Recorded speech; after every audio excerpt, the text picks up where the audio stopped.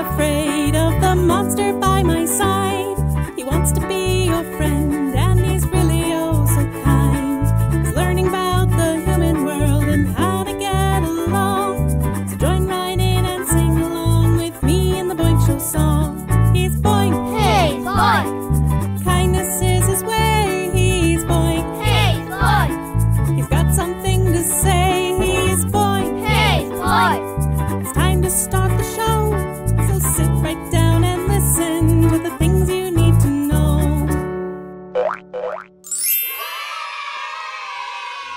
Welcome to the Boink Show.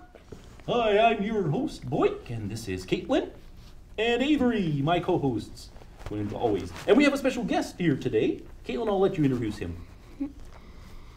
Who is it? Cap- Captain Matt Price from the Farmington Fire Department. That's right, Captain Matt Price. Matt, welcome to the show. Well, thank you for having me. Yeah, that's it's great to have a firefighter come in here. You guys get to play with all kinds of really cool equipment.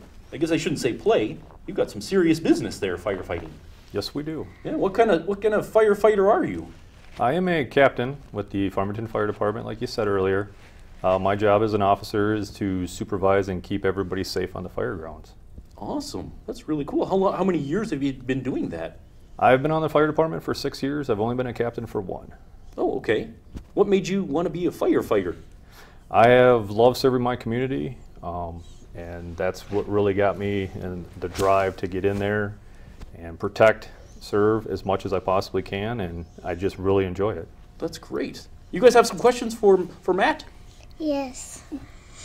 Avery, what's your question? What is your favorite type of equipment? Yeah, do you have some cool equipment to show us? Do you have a favorite piece? So I do. I guess what would be my favorite piece would be what we call our SCBAs. Whoa, This is that what really cool. This is what we are able to use to breathe with. Uh, but this piece of equipment that I have in my hands has a thermal imaging camera built into it. Whoa, really cool. How do you see through that? So what happens is I turn this button on here, and there's a little eyepiece right here, and then there's a TV screen right inside the mask. Whoa, cool. Do you guys see that? which allows me to see in smoke, very dark areas, which allows us to find people that are laying on the floor or in the bedrooms or wherever they might be. It helps us get them out faster. Oh yeah. I guess I never thought about how hard it might be to see inside a house with the fire and smoke and all that. Kayla, do you have a question? Um, what happens if you get trapped inside Ooh, the house? yeah. That would be really scary to get trapped in a house. The smoke everywhere. So if you're trapped in a house and it's just a single story or like a one story type house, what we ask you to do is shut the door first, go to a window, and if you can climb out, climb out of the window. If it's a two story house, which means there's one floor and then you have another floor above it where you got to walk up the steps to get up to the top, and you're on that top floor and you can't jump out the window or get out the window, we want you to do the same thing. We want you to shut the door. Always remember to shut the door first open the window and start yelling for help. And as soon as we come onto the scene, we'll be able to find you right away. We'll get a ladder up to you and we'll get you out of the house. Yeah. That's that's good advice. Yep, you got to look for the firemen and show us show us more equipment. You got like a big helmet and stuff, so people you might even look kind of scary when you're in there in the fire, right? With Yep. That mask on. So here is our fire helmets. And Very a lot of times this is kind of what everybody knows a firefighter, what they look like for our helmets. Um, and when I had the mask in my hand, like I showed you earlier, this is kind of what it looks like Whoa. when a firefighter comes walking up the steps or comes walking Really into the house. I think it looks pretty cool. Do you think that would look scary? No, not really. Oh, that's good. And if you see the big uh, fire badge that he has on his helmet, you would kind of recognize it's a fireman, right? Or a firewoman. Do you have some women on the force too? Yes, we do. We actually have five firefighter females. That's great. So it might be a fireman or a firewoman that's coming to rescue you. And you got some other cool equipment you brought. Can you show us what you have? Yep. So, like I showed you earlier, um, the camera that we have on our SCBA, we also have a camera which is called our thermal imaging camera or a FLIR. Uh, we can take this into a fire, and basically it does the same thing. It shows us heat, um, so we can find fire that might be in the walls or up in the attic that we can't see physically. Yeah. But this will help us find that fire. It also helps us find people that are in the house. Like if fire's behind a wall or something? yep. Or behind smoke? it also helps us find pets. Oh, yeah. So We have a pet, don't we? Yes. a Cat. Allie. People So- love their pets. Yep, if everybody gets out of the house and you say that your dog or cat still might be in the house, we can go try to find them and rescue the dog or cat. Oh, wow. That's awesome. That's really cool. What else you got? Then our other piece of equipment is what we call a five gas meter. Um, it helps us detect bad gases that might be inside the house. Mm. And it also lets us know when we have to get out of the house too, when it might be too dangerous for us to be in the house. Oh, well, I sometimes uh, we detect bad gases in our house, right? Making a joke. I use my nose, Yeah, right, Kaitlyn? yeah, but those are those are for bad gases that like could be dangerous or toxic or or cause fires, right? yes, that's Yeah. what we use these for to detect. Like if you have a natural gas uh, leak, might be in your house, and you can smell that rotten egg smell. Oh, this yeah. will detect it and tell us exactly how much is inside the house. Yeah, yeah. Well, and that brings up a, a point too that I remember hearing about is that there's different kinds of fires. Like gas could cause a fire, or wood or paper, um, but then also electrical things, right? Correct. Tell Um, me, tell us about that and what should kids be careful of? So there are there's many different types of fires. We have the electrical fires, like you mentioned. Um, your your normal combustibles such as wood, paper. You know, everything inside your house is flammable. Oh, Um, and you, and flammable. That's our word of the day. Now let's talk about that. But let's do our word of the day cheer. Word of the day. All right, so flammable. What, Kaitlyn? You have a definition, don't you? Yes. Um, flammable means um, something that can easily be set on fire. Something easily set on fire. That's a pretty good definition, right? Correct. So flammable. Everything's in, in your house is flammable? The To vast majority of everything is, is flammable inside your house. Now there's some fire resistant stuff such Okay. as like sheetrock, which helps protect you. So that's why when we say close the door if you're in a bedroom, the sheetrock in the door is going to help protect that fire from coming into that room for a while. But eventually it will come into that room. Mm-hmm. Yeah, okay. Well, that's great. Uh, Avery or Kaitlyn, you have any other questions? Yes, um, how do you stay safe with candles? Oh, candles. That's something, you know, we have candles. A lot of a lot of our viewers probably love good smelling candles, right? So is that something that's very dangerous when you see a lot with fires? It is very dangerous. Um, we don't see a lot of the candles because we do a, a, a really good job trying to talk to everybody about candles. For and what the- do you tell them? So the first part that we really tell them is if you're going to have a candle, it ha- needs to have a really good base, something that it can sit on so that it's not wobbly, it doesn't fall over easy. That if you're like jumping around, if you have kids in the house and they're running around, they're playing, it, it's not going to tip over. Two, you always have to make sure somebody's either in that room at all times. You don't ever want to leave a candle burning inside of a room that you're not going to be present in. yeah. And, Good. thr- and three, you always want to make sure that that candle is put out, completely out, blown out, however you want to do it, that it's out before you go to bed, leave the house, or do anything. Yeah, that's great. That's great. Any other questions, Kaitlyn? Um, what are some fire safety tips? Okay, yeah. You got fire safety tips that you like generally share with kids? Um, for the most part, yes, we have, if you find a lighter or matches and laying around anywhere, outside, in the house, at a friend's house, always give it to an adult. Okay. We don't want you to play with them. We don't want you to be nervous that you're going to get in trouble. Just tell them that you found this and that you're giving it to them so that they can put it away properly. Okay.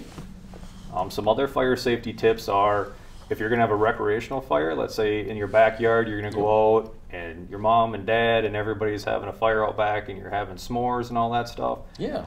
The biggest fire safety tips is always make sure that somebody's around that fire and they don't leave it unattended, which means nobody's around that, that fire at all. And you always put that fire completely out before you leave or go to sleep. Yep, that makes sense. Well, that's great. That's great. Well, um, you guys want to say thank you to, to Matt for coming on the show today? Thank you. Yeah, it was really great of you to share all those fire safety tips. And, uh, you know, do you go do out to the schools and talk to kids at the schools? We do every year. Um, in October is our fire safety prevention month, and we uh, our target area, our target audience is the fourth grade class, and uh, we do videos. We talk about fire safety. We put our gear on and show them our gear, and then we let them take uh, uh, we take them outside and we let them look at the trucks. Oh, I love seeing the trucks. We've got some video of the trucks that we'll show you right now. Well, thank you, Matt, for being on the show. We appreciate it. Thank you. It was my pleasure. Let's see some of that footage we took when we went to visit the Farmington Fire Department.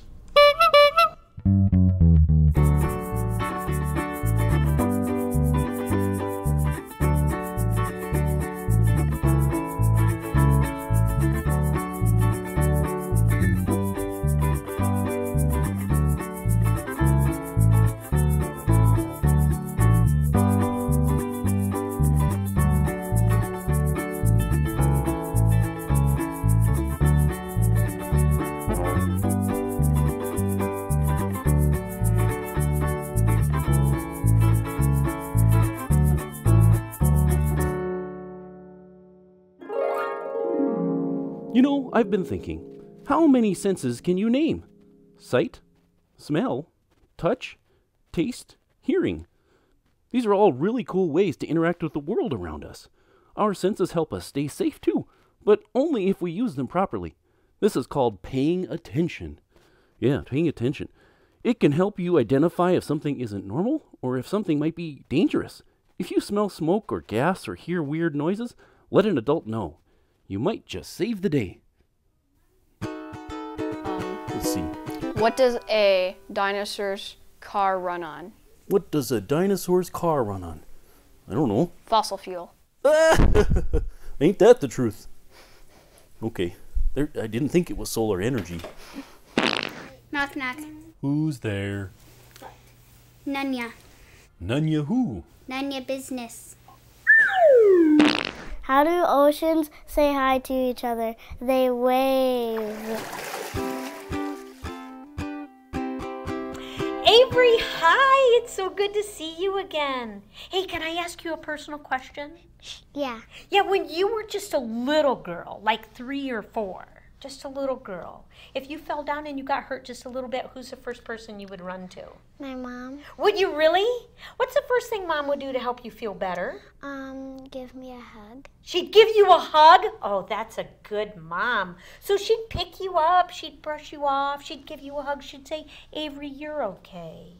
And would she give you a band aid sometimes? Yes, she would. And would that help you feel better? It would. Hey, guess what? Did you know that band aids are magic? You didn't know that? Can I show you how band aid magic works? Okay, Avery, I have a band aid right here. And I'm going to write on the pad of the band aid a pretend owie. Okay. Oh, almost dropped this. I gotta have my pen here. I'm gonna put an A on here for Avery so we know that this is in fact your band aid. So we have an A right here. Okay? All right. Should I show the camera? I probably should, shouldn't I? Because everybody in the audience is going to want to know did I really write an A on there? And I did. Avery, is it okay with you if I put this A band aid on the back of your hand? Whichever hand you want, just set it out. You want it on the back of this hand, okay? So we have the A band aid. I'll put it on the back of your hand right here. And Avery, would you just push that down nice so it's nice and stuck? Is it stuck on there? Good. Okay, this is the part, Avery, about Band Aid magic that moms never talk about. There is always an extra Band Aid. Did you know about the extra one?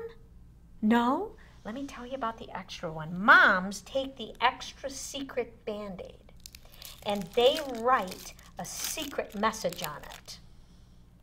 I'm going to give you a hint of what the secret message is not. It is not an A. Do you have an idea of what the secret message could be? You don't? I'm going to tell you, Avery, because this secret message is very important.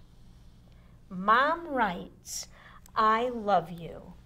Right on the pad of the band aid, but she can't really write the words I love you because it's too much to write. So, what she does is she puts the universal symbol I love you, which is a heart.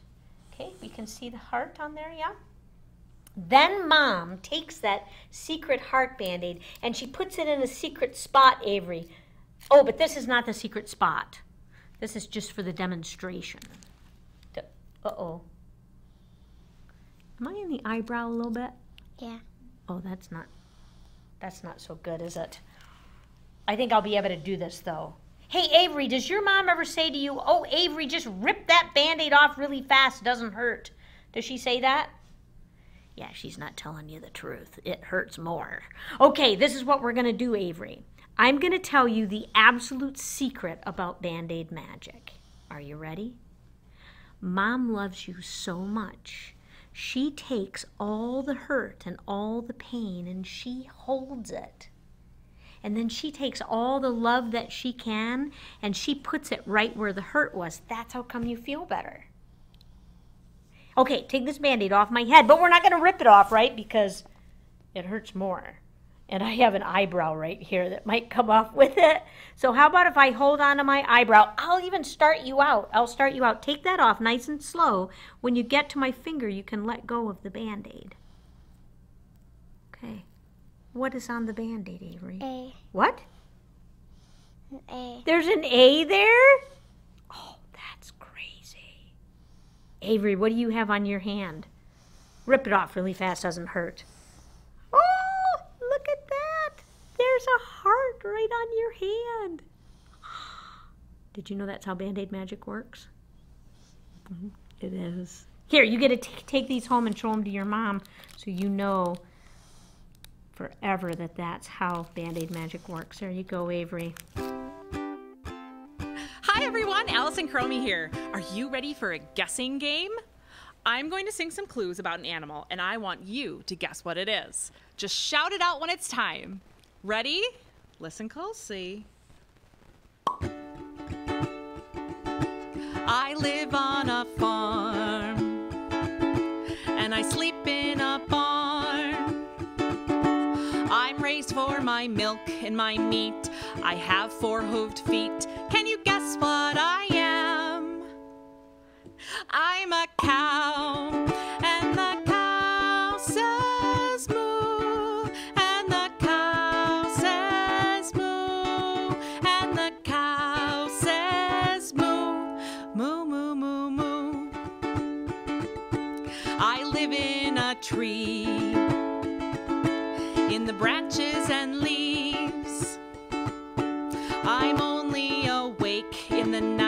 And I'm silent in flight. Can you guess what I am? I'm an owl,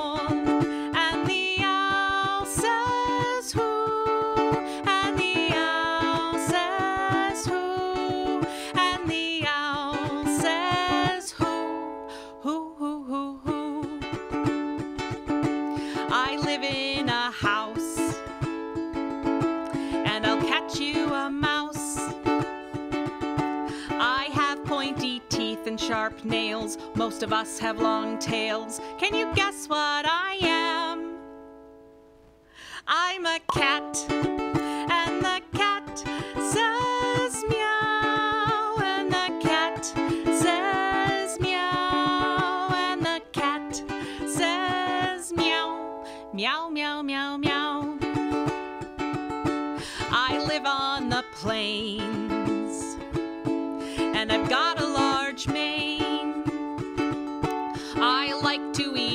zebra and giraffe. I roar, I don't laugh.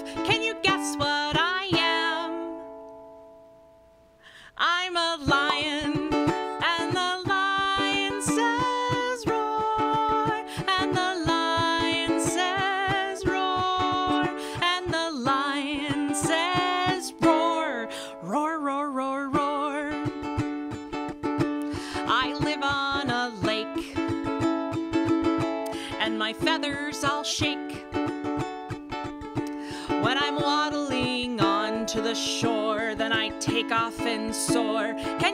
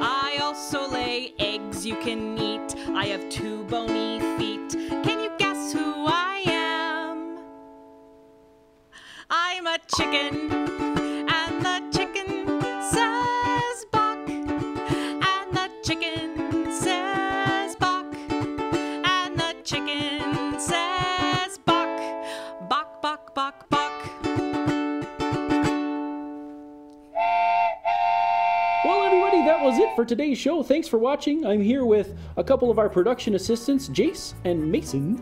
Hi, Say hi, guys. Hi, Boink. How's it going? Good. Thanks for Boink. thanks for helping us Yeah. create this wonderful show. Yeah, anytime. Just Come Yeah. on in. Well, thanks everybody for watching today's episode, and make sure to follow us at iamboink.com, and we'll see you next episode. Bye. Bye.